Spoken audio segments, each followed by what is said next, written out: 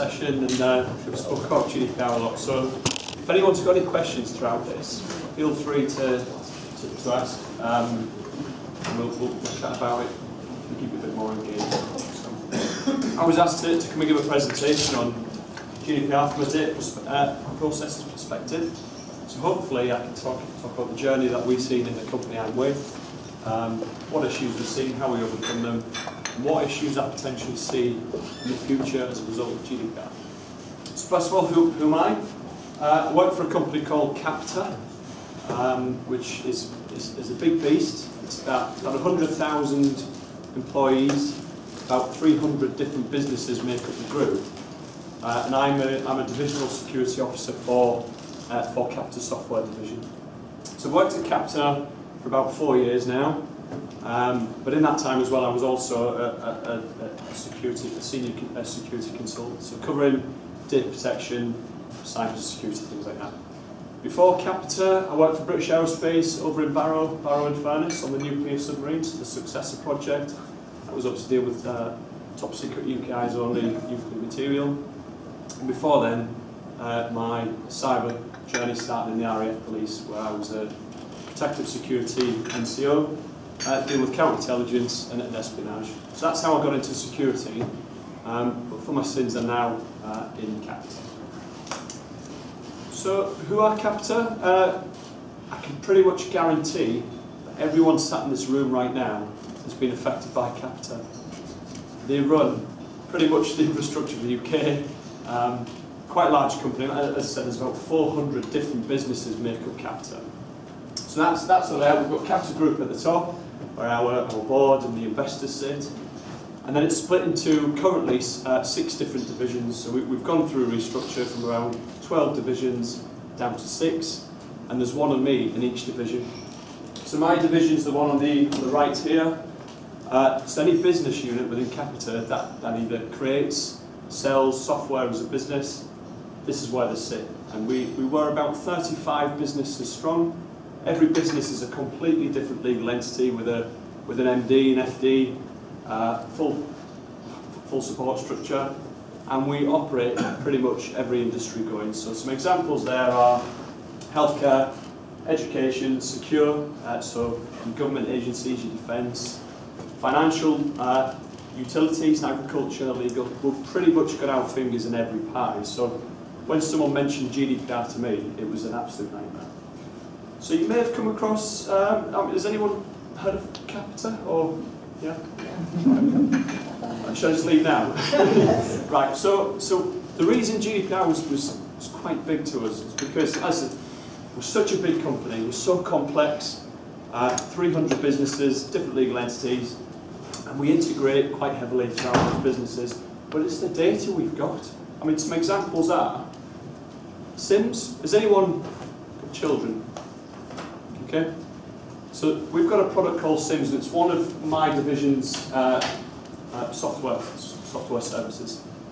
And Sims is, is using around 22,000 different skills in the UK currently. That's that's expanding as we speak. They're also going into foreign markets as well, including Europe. So Sims has been around for a number of years, and what it is, the old school of attendance registers and sheets is no more. It's all digital. So we've got attendance, we can look after school's performance, uh, the, the child's performance. We also have the teacher's records in there. We've got the parents' records. If a kid, a kid goes on a, on a trip, pictures go into there, we can share them with the parents. An absolute GDPR nightmare. So if you think how long Sims has been going, we have the parents in there, the school uh, teachers, uh, school children from, from, from whole raft of years, pretty much, uh, I think 87% of the populations touched by Sims, and that's just one of our products. We've got 100 different products in my division. So we are uh, quite affected by GDPR. Other examples are uh, when you phone 999, uh, the system that tasks resources out to scenes, so ambulance, fire, that's all our software. We've got a new piece of software now when you phone 999. If you've got a smartphone, we can activate the cameras, so rather than just hearing what's going on, it records as well for use using evidence, and also for the operator to see what's going on. And another, so that's, again, one of our products. Another one is Pay360, which is a payment card processor. Uh, and uh, I think it's 9, 9.5 billion transactions go through Pay360 a year. And payment card data, PCI, is affected by GDPR in exactly the same way as a name addresses. Um, so that's just three examples of how we're affected by GDPR. So a lot of people don't know this, but uh, Capita Software, my division, we're actually the, the, top fifth software provider in the world, which I, I think is quite impressive because when you think of software providers, you think of Microsoft, Oracle, your big players, but we are actually, um, we pretty much integrate with, with, with every industry. So what I'm going to talk about today, and I'm not here to sell services by the way, I'm here to talk about the issues we've had uh, under GDPR. So my job is security officer for, for one of the divisions. And what I've typically found in, in, in my industry is GDPR was lumbered with the security. I don't know if that's similar to, to you. So I, I stepped into the, the, the DSO role two years ago and it, the board just went, GDPR, sort us out, whatever you need to do. No one really knew what it was or how bad it was going to be. Um, so they didn't know how to start, how do we integrate with so many businesses, uh, what resources and support do we need? Do we, do we look down the consultancy route? We've got 100 different products. How do we even look at that? So what I'm going to talk about is, well, what did you understand GDPR? The GDPR project.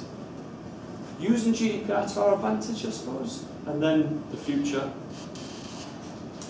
So understand the GDPR. So someone made this, this uh, point earlier. It's the GDPR is the next progressive step from Data Protection Act 98. I disagree with that. And I was at a conference last last year. It was CloudSec actually. There, there was a there was a lawyer speaking from PwC. You would think the GDPR or the DPA 19, uh, 19, uh, sorry, 2018 is a natural step from 1998. However, there was only something like 34% of industry in the UK were actually compliant with DPA 98 they were actually only compliant with uh, 1984. So basically, we should have just stepped one, but there's two steps in there. So that's why I think it's been quite, quite a big impact on, on businesses. So we are typically a data processor. All we want to do really is sell, sell a bit of software. We might host the data for you as part of the service. So in the past, we weren't really affected by DPA 98. Yes, we had some obligations to meet, but the risk wasn't really there on data processors. It, we had liability insurance if something went wrong, but ultimately, if there was a data breach, we just had to report to our customer that was it. We've never really seen anything from it. It was the controller that was liable. And obviously the maximum fine of a DPA breach was 500 grand, and I don't think the ICO has ever enforced a, a 500 grand fine uh, yet. Then all of a sudden, GDPR comes along, firmly puts processes in the crosshair. So our risk profile went from we can do things over here, skirting the law, or skirting the rules, to now we've, we've, we've completely got to change culture, we've got to embed it in all practices. So that was probably the biggest impact against a data processor. We always, you had obligations of DPA, but there were instances of, of where, it was, where it wasn't followed. And that's typically because the type of business we are, we grew by acquisition. We, we bought small software companies, typically didn't have any governance at all. So we, we've grown through this, uh, this acquisition. Um, and that, that, that has had an impact on the GDPR project. So first of all, we have to say, right, are we a data processor? We, we always thought we were. But as you start to realise and, and, look into it a, bit more, there are elements where, we, where we're a data controller. So that, that's one of the first issues we came across where we had always thought we processes, but actually as we understood it, started to look into a bit more, we were controllers in, in quite a lot of instances. So as a software company, if we used any data to do any development, so we wanted to create a new product potentially, straight away data control. So the more we looked at this, the more, uh, the more businesses we looked at, the processes and how we would use the data, straight away we weren't just a processor, we were, we were finding things. Other elements were, obviously if we, if we sell a software product, uh, we provide support as part of that product, which is normal. If anyone wants to raise a ticket on that ticketing system, we're the controller for that. Because we're the ones asking for, for the data needed to uh, process that support request. And also what we found is our customers would take screenshots of cases containing very, very sensitive, highly sensitive information because we operate healthcare, uh, defence government, schools, um, and we, our ticket systems were uh, housed information we didn't even know about. So I was given the project of, of GDPR, go fix it, whatever that means. Uh, so first thing I had to do really was understand what it was and I had to get the support of the business behind me. So quite early on, I delivered a presentation to the divisional senior management team. And at the time, we had a new CEO that had just come in, and fully, he was actually brought over, so I, I give, a, a half-hour presentation on our quarterly review. Around what it is, how it's going to affect us, the fact the fines are so enormous, uh, and, and he completely bought in and said, you've got my full backing, this is a critical risk in our risk register, let me know what you need. So that was the first issue, or oh, the, the, first positive thing. Because normally what you find in security, you don't get the, you don't get the, the budget or the, the material you need to do the job. So this all of a sudden opened doors, and anything I was asking for, they were saying, yeah, that's fine, get it done because I had the backing. So the reason it was such a big impact to a Capita business because, like I said, there's 300 different businesses make up the entire group. If any one of our business units breached or caused shown unwanted attention, got the ICO involved, then potentially, well, obviously the, the 4% fine that you can face is off Capita PLC's global annual turnover. So it wasn't just a business risk, it wasn't just a divisional risk, it was a group risk. And that's why we had to take it quite serious.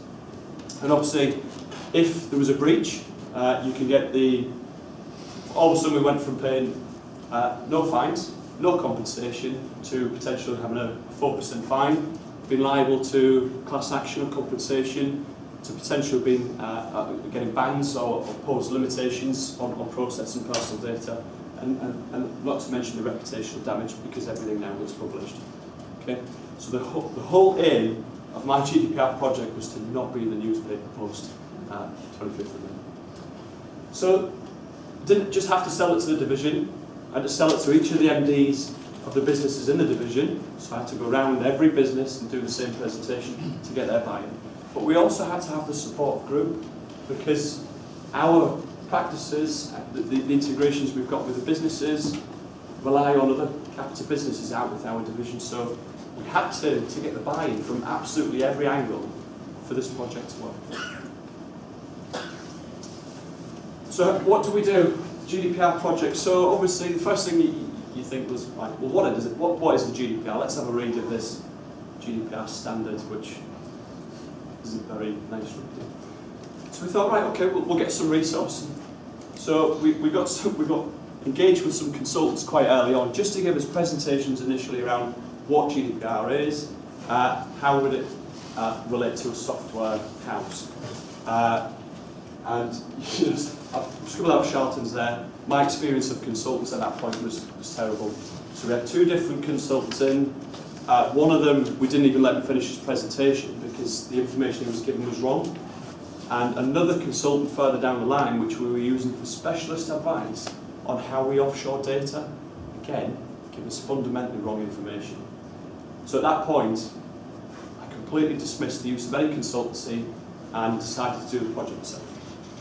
So by that, we, well, I, I led the project, but I stood up a, a DP lead in each of our business units.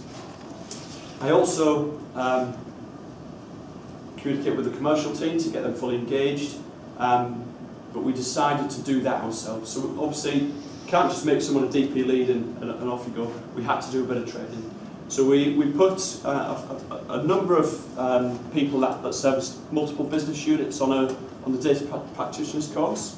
Um, and then we, we made every commercial lead and DP lead uh, at least do the GDPR Foundation course. So that, that's what we did first of all, is we give them new terms of reference for the job, give them additional responsibilities, uh, and they became the GDPR first line of defence for, for that business. Completely getting out, get, uh, removing any, any external consultancy in that. Benefit of that was they understood the business. We managed to retain the resource in-house, and we actually developed a really um, skilled set of people that are still here today. So it brought the group together. It actually, because I used the, this resource that was in the businesses, it allowed us avenues into the business to understand the businesses, to identify where the issues were, because they were the face of that business already. So it actually managed to get us more involved, whereas I think if we use consultancy, you get that barrier, because I was a consultant myself. Uh, so costs. Um, so the, the cost was, wasn't too much of an issue for, for us. Obviously, we, we identified that was a training requirement. We done uh, bi-monthly get-togethers and forum, and on that forum we used it as a brainstorming session. We thrashed all the questions out. Who's got issues in what business? Because typically, an issue in this business over here, the business over here will see the same problem. So we actually used it as a brainstorming. So there was initial costs for travel and expenses and doing the training, but we're a software company. We want to continue to sell our products to our customers, what do we need to do to our product to, to allow them to be GDPR compliant? And that's the thing um, we realised quite early on. That was a, obviously at the beginning of the finger in the air, so I could predict what it was going to be in terms of uh, resource and up, up, up, upskilling. But the costs have only just come out now. So uh, we've now seen a cost of 1.2 million that we didn't even expect, just in putting tweaks in our products. So simple things like including a button for, for the customer to delete a record, or for them to port the data if they need, or to enhance security around that product. So initially, we have been hit by costs that we, we haven't passed on to the customer because we didn't think it was in the spirit. Okay. So data mapping's been men mentioned a, a, a couple of times. But that is obviously the key thing. If you don't know what your data is, how can you protect it? So using this resource, uh, or, or, or, the, resource that we had to hand, we obviously had to go out and look around the business and find out where the data was. And then from there, we had to produce an information asset register uh, and obviously data privacy impact assessment. So, as a data processor, it's not your responsibility to do data privacy impact assessments, it's the controller's obligation. And it now says you don't have to do retrospective DPIAs. We, we ignored that. And we, the reason we've done that is because typically the customers we dealt with, so local authorities, uh, plus we had a whole range of different uh, customers, they didn't have the resource to do DPIAs themselves they wouldn't, or if they, if they wanted to do a DPIA, they would have had to come to us anyway and ask for the information to do a DPIA. So what we decided to do was we would do a DPIA on every product that we have, and it actually highlighted a number of issues that we, we, we had to fix. So from a security point of view, it was absolutely brilliant because we now understood what products we had out there, we had the full support of the business, uh, the business. We had the hammer to drive the project. Obviously, if you don't do this, it's the impact you potentially won't be able to sell your product, or we, we, we could face this fine. So we had full support of each of the businesses, product managers, and we did find some, some key vulnerabilities that no one even knew existed because we, we've got 100 different products, uh, and that doesn't even include the hosting services that we provide uh, for those products. So some, some, some, key, some key things that were highlighted, which we've now resolved. So from a security point of view, I actually sleep a lot better. So in order to do a project, uh, you can't do a project without doing a GDPR gap analysis. Uh, gap analysis. So, um, so I personally produced a gap analysis which had around um, 100 different, different, uh, di different areas on it. And that was basically the, the, the thing that drove the project. So the business has done an initial assessment. I'm not going to say what the figures were, but I can tell you we far exceeded where I wanted to be by 25th of May. So, so I set a target to the board that by 25th of May, this is where we have to be in terms of percentage, and we've far exceeded that. So, in my opinion, the GDPR project has been very successful, considering the complexities that we've got in the business. So, embracing GDPR. Um, I saw this as the business as an opportunity. Now, we weren't the only ones facing GDPR, everyone was. All of our competitors were. Um, but it was opportunity to get rid of things that we didn't need, to streamline the business, get rid of the complexities. So what we've actually done since the project started, we went down from around 35 businesses to 22. We've brought businesses together because we're now using the same technologies, we're using the same services, we've actually managed to streamline our business and save money. So data retention, we had data that we didn't even know we had in places that we didn't even know existed. So we've, we've completely purged anything that we don't need.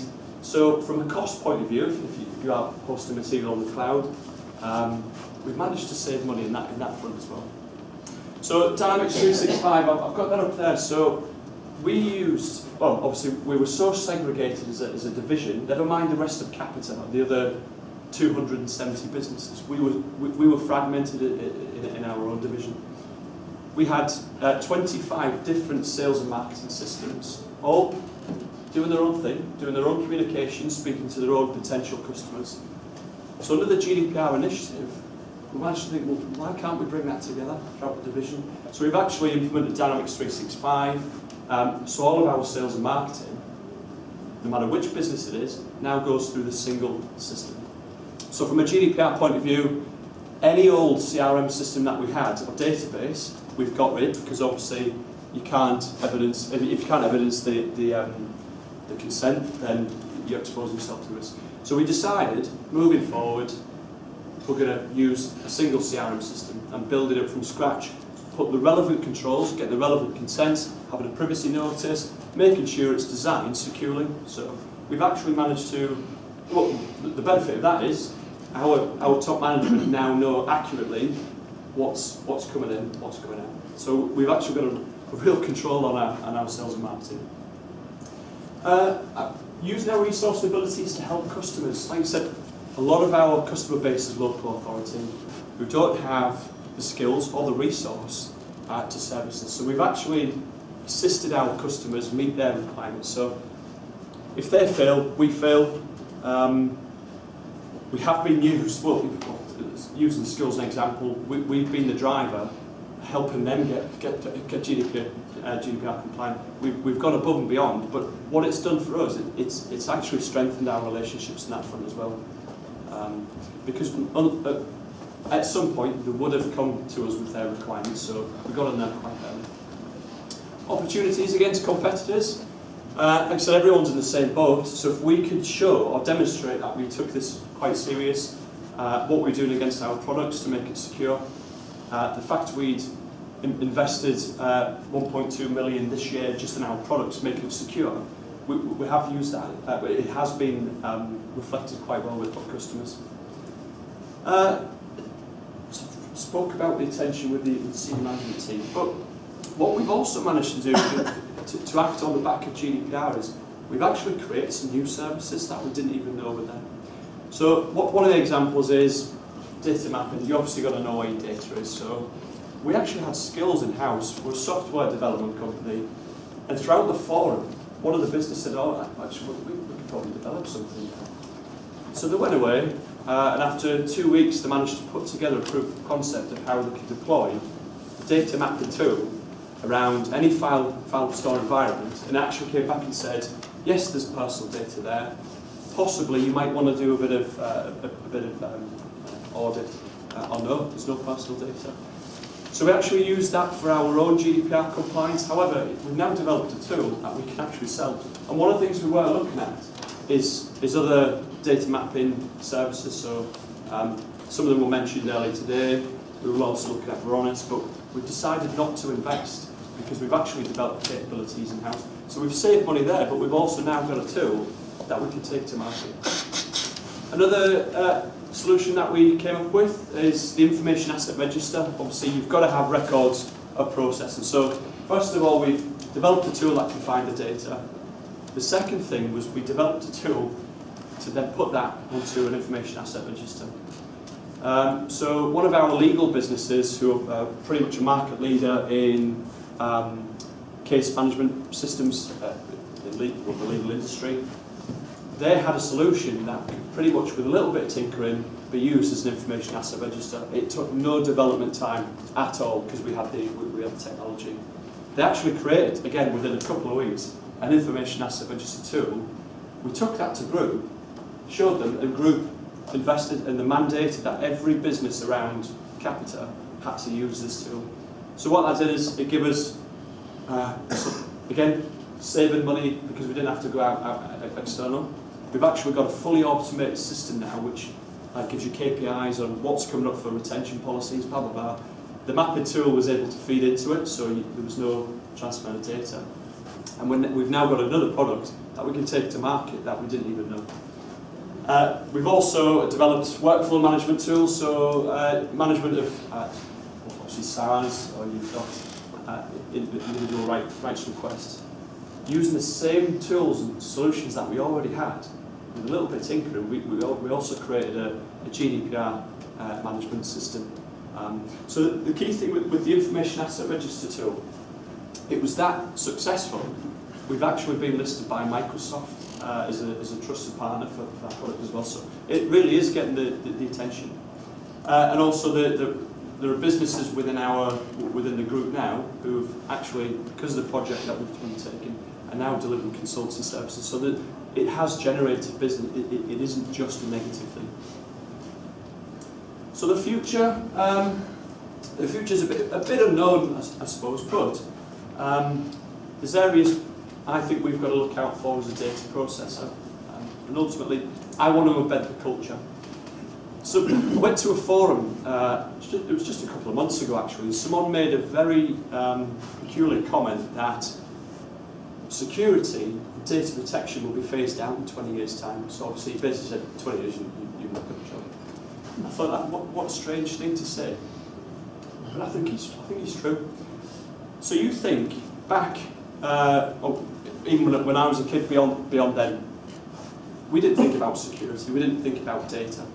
Right? But you think kids nowadays, they play online, Xbox, PlayStation, they've got social media, and how many rights are getting rammed down the throats. So an example is, my, my son uh, was playing his Xbox, and someone jumped onto their session, it was, it was online, someone jumped on the session, and straight away they start, I wasn't a stranger, I could hear pedo getting shouted, but someone joined on the session, and straight away they all started shouting pedo at him before, the, before this man dropped off the session. I would have even thought of that as a kid. But it's all these data privacy things that are now being integrated at an early age. When they're in industry, data protection and security is just going to be the norm for them. Think of it as, go back 100 years, how, how often would you shower? Probably, probably not very often. But now you wouldn't go out without a shower because it's just normal. And I think that's probably what's going to happen with, with security and data protection because it's been thrown at them from a, from a young age. So one of the big things we're doing is the, the journey to the cloud.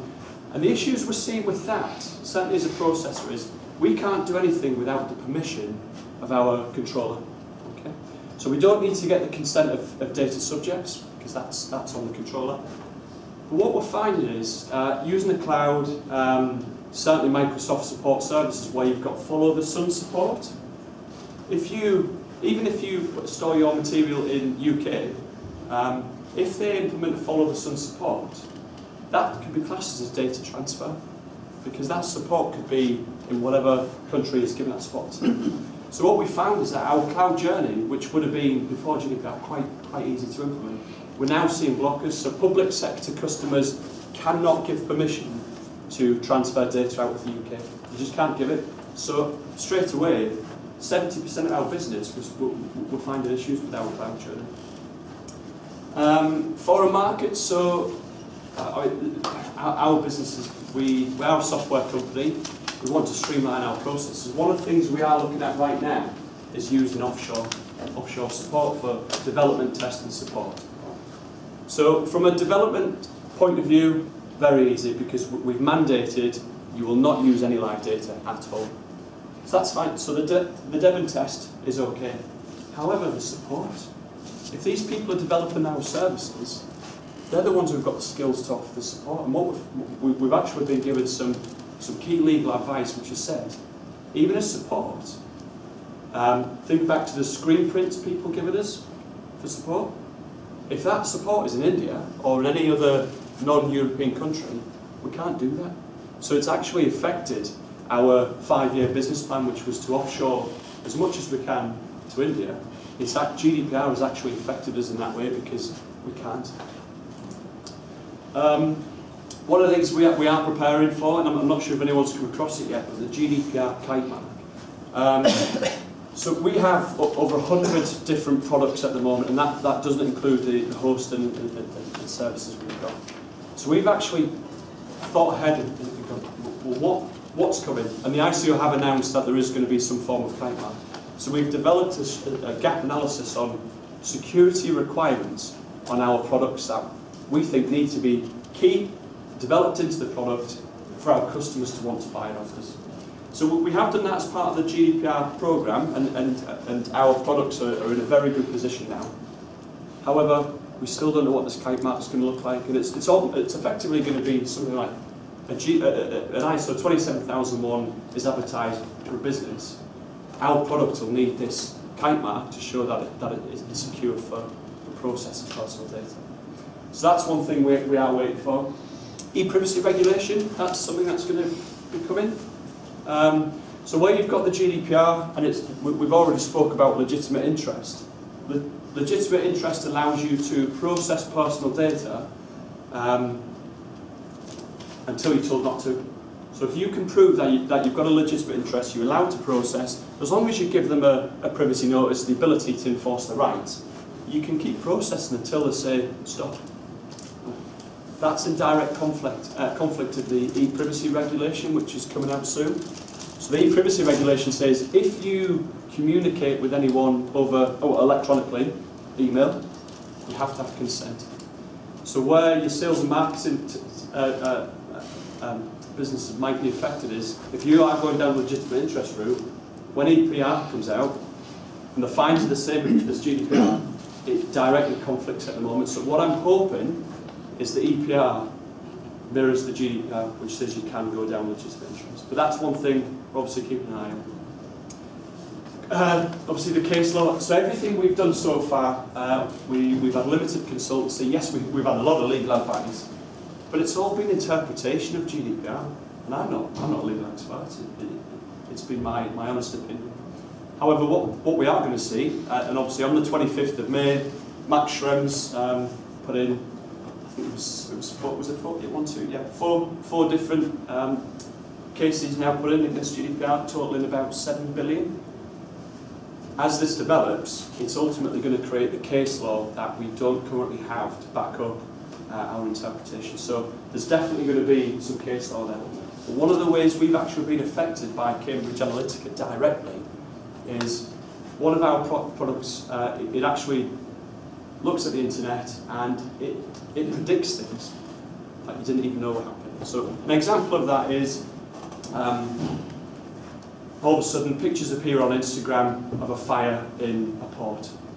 Someone starts, uh, uh, and that's all it could be. So it could be the, the geographic location, a picture, or someone even tweets in, there's a fire in the port.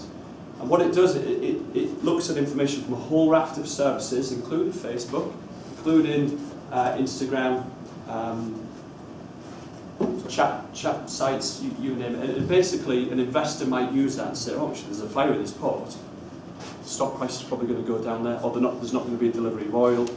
Um, and because of Cambridge Analytica, um, we've always had the consent to, to, to do this, we've always had the security around it because of what it is.